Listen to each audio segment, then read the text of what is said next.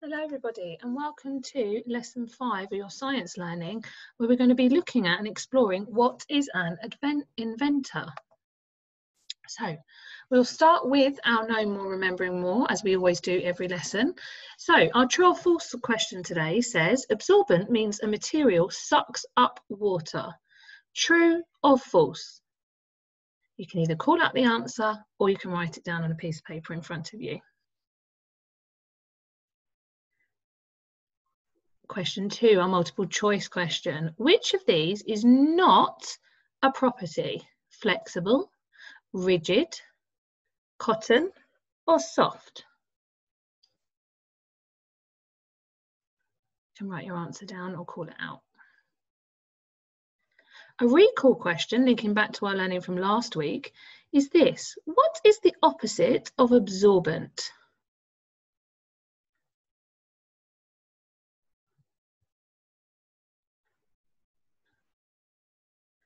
And are looking back, which is links in really well with your year one learning, what animal has fins, scales, and lives in water?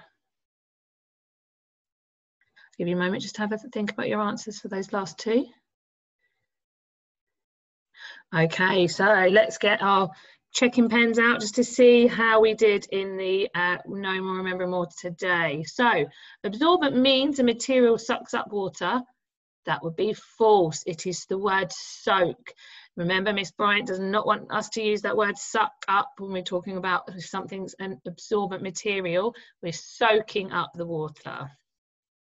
Which of these is not a property? Cotton is actually a material, not a property. Okay, so well done those of you who said C, cotton. Right, then I'll recall what was the opposite of absorbent? Well done. Hopefully most of you made your connections to last week's science learning, which was waterproof. And then finally, what animal has fins, scales, and lives in water? This has made definitely made Mrs. Lee think. And you would be right if you said fish. Super. So we talked about what we're going to be looking at today, which is the question, what is an inventor? So our success criteria today is that you are going to, by the end of the lesson, be able to define what an inventor is, know how to use a secondary source to find information about that inventor, and give examples of inventors and the materials that they have discovered. So our key words, our key vocabulary for this week, we're going to do my turn, your turn, so you can call it out at the screen. Inventors. Macintosh. Tarmac. You might know some of these words already. Okay, so whilst we can't do turn to your partner, I want you to have a think. Maybe you can tell an adult and discuss this with an adult in your house or, or a sibling or a relative. What do you think an inventor is? Somebody who, what is it, the word, what does inventor mean? What's, what's that person do? What's that job? There are some clues in the images on the screen if you need a bit of a hint. Okay, hopefully you've had to think about what an inventor is, and it's a person who makes something new. That word invent, okay, so it means to like create, to build, to make something new. So we've already ticked off one of our success criteria for today, which means about defining an inventor, because we know that it's someone that makes something new. So where can we find then information about inventors? The, the inventors have been finding out things, making things in history for, in, in through various different um, areas for years and years and years. So there's two clues on the screen right now. One of those is an, an encyclopedia, and one of those is www, which should hopefully give you a clue. So we call these types of um, sources of information secondary sources, okay? Now, if you make the link back to our history learning, we've talked about the idea of primary and secondary sources. We know a primary source is something that happened at the time, or it can also be when you speak to somebody that's directly involved at the time of that um, invention or the thing that's been made happening and taking place. But a secondary source is then one step back from that, from the primary source. So for example, information books, so non-fiction books generally can give you some information about a particular person or thing or item or object. And the internet, you can find a lot of information on the internet, but you do need to check their reliability as well. So already we're whizzing through the success criteria today we know now how to use a secondary source to find information you can use the books and computers to help you do that okay so we are going to be looking and finding out a lot of information about these three inventors that were really important to the development of materials at the time that they were around. So the first one, and I'm going to say my turn first, John Dunlop, your turn. The next one, Charles Mackintosh, your turn. My turn, John McAdam, your turn. Super. Okay, so here is information, some information about Charles Mackintosh. And if we go back to the screen we just looked at, he's a very, very uh, smart looking man sitting in the middle on the chair. Okay, that's Charles Mackintosh. And I want you to think about that word Macintosh and see if you can make some connections in a moment. So he was a chemist who invented waterproof clothing. Now, some of you might actually know that waterproof jackets are also sometimes called Macs. Have you got your Mac today? Okay, perhaps um, some of your relatives in your house actually can tell you that, that that's definitely what that is. So he was known for making waterproof Macs or waterproof clothing. He was born in Glasgow in 1766 and he invented a spe special bleaching powder which made both the men very very rich because obviously these inventions would benefit a lot of people so it meant that often inventors could earn a lot of money for creating these new things now while trying to find a use for some waste products, so products that are not needed, he first tested a particular product on cloth. And he took out a patent for that in 1823, which means he had to go and say, this is what I've created, nobody else can use it. And this is, and this, um, we're the only company, we're the only group of people that can actually do it. Now, he was also a, elected a fellow of the Royal Society in the same year because of all of his work and things that he made.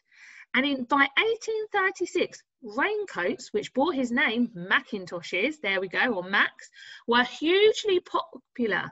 And to this day, the term a plastic Mac or a pack a Mac, depending on um, where, you come, where you come from in the country, is still used for a waterproof coat. And I, I know they definitely do Macs in Primark when, um, when they've been open, because I've definitely picked one up in the last couple of years. And he died in 1843. Now, we've also then got John Boyd Dunlop. Now, he was a vet and an inventor. And he created the inflatable tyre, a device that we still use today.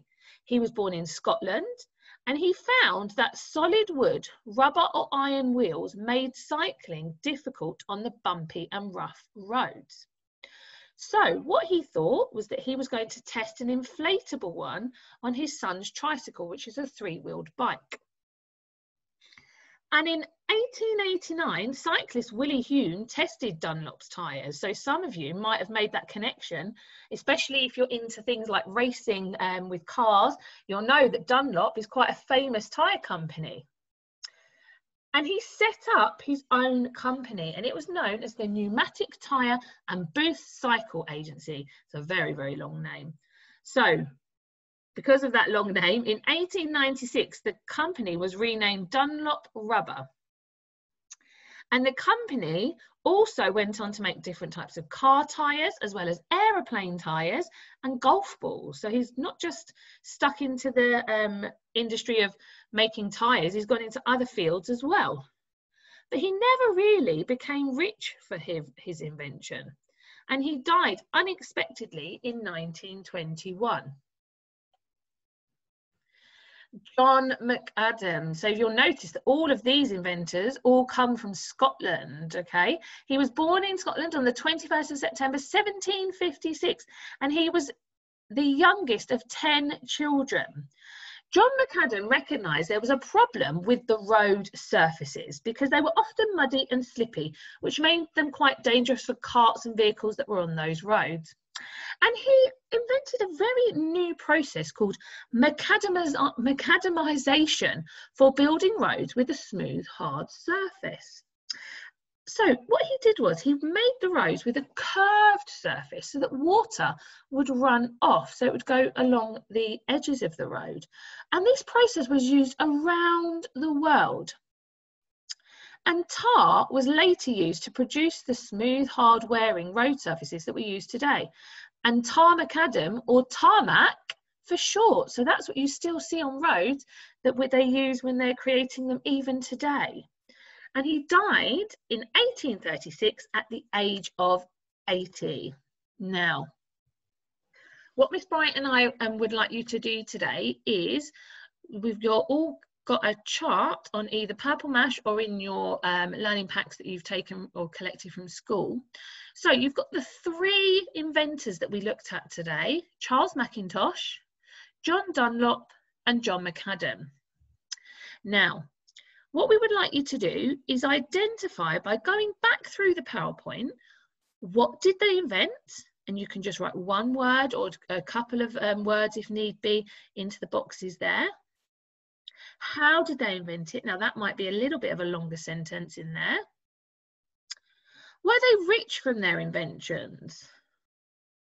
What was their birth date? their death date, when did they die, and any other interesting information that you think you found out about those three inventors. So what we've been able to do is been able to cover all of our three success criteria today. So we've talked about already what an inventor is, somebody that creates and makes something new and innovative. We know how and where we can use, what secondary sources we can use in order to find information. So we can look at information books or on the internet to find out some facts about inventors. And you've been able to, when you've completed your um, chart, to give examples of inventors and the materials that they actually discovered. So if you would then also like to challenge yourself, because we all know that that's what some of you like to do every lesson that you um, come into, can you go and find out about an inventor of your choice?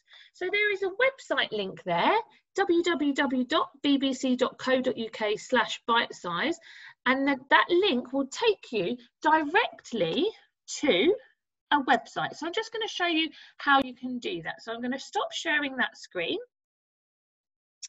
and I'm going to click on the link And then I'm going to share with you where it will take you. So if you click on the link, you will see that it's taken to me to this scientists and engineers link. So you've got other inventors and some are actually even linked to our classes in school because we've got a Curie class in year six, haven't we? So we've got Isambard, Isambard Kingdom Brunel and what he um, created. He was a very, very famous engineer at the time. Marie Curie, so nice to see we've got some female inventors coming through. Mary Anning, so you'll be uh, learning a little bit about Mary Anning when you get into year three. And some of you should recognize this figure, Professor Stephen Hawking.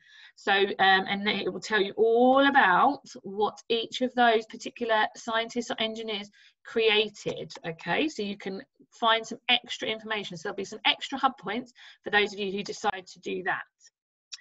So if I then go back to my PowerPoint that I had a minute ago. Okay, so We're going to review the knowledge now and seeing if we uh, can answer the true or false question. So question number one says, an inventor is a new material. Is that true or is that false? Write your answer down or call out. Well done, those of you who said false. An inventor is not a new material. We know it's somebody that makes something new. Charles Mackintosh invented the raincoat. So you can either write true or false down on your piece of paper in front of you, or you can call it out at the screen. True, remember you've got that Mac Okay, so the Mac clue in there tells you that he did, in fact, invent the raincoat. So, question three you can trust everything you read on the internet. I'll give you a second. False, okay? You do need to make sure that your information comes from a reputable source, something that you can trust. Secondary sources include books and the World Wide Web. True or false? Call it out onto the, or call it to your screen, or tell an adult around you. That would be true. Secondary sources do include books and the World Wide Web. Number five, question five, anyone can be an inventor. True or false? True, you can create things all the time. People have the greatest imagination. And if it means that people's lives are better or things improve as a result, then you can actually make, as some of the inventors did, quite a lot of money from that. So thank you everybody for coming to our science learning for today. And I hope that you have uh, enjoyed what we've covered. And also, if you have any questions, you know that you can contact us via the school. But good luck uh, with your task today. And we look forward to seeing what information you're able to remember to recall about the scientists that we looked at today and the inventors sorry. John dunlop charles mackintosh and john mcadam. Good luck and we shall see you next week for our last lesson of the half term on materials. Goodbye you two